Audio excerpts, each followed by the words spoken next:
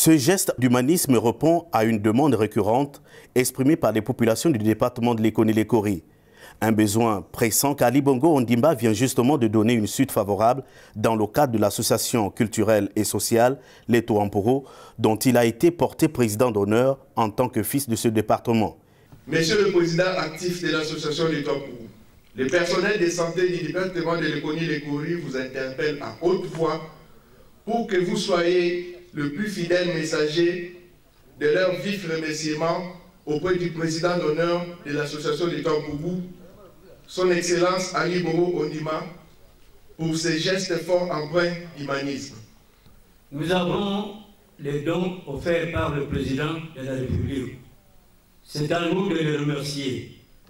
je parle aussi aux gens du service médical. Les dons venus, c'est un don que tout le monde a vu. Un don de beaucoup de médicaments.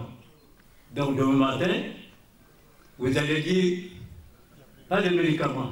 L'étau en Pogo est donc un cadre dans lequel les filles et fils du département de l'économie les Corées sont invités à l'unité et à la cohésion de tous pour le développement de ce département. Les actions menées ici doivent désormais participer au bien-être des populations. Comme vous le savez, la santé est au cœur des préoccupations de notre président d'honneur, car en sa qualité de président de la République, il est très sensible aux questions qui touchent la santé. C'est cela donc qui justifie, entre autres, sa réaction spontanée par rapport à cette requête que vous lui avez formulée.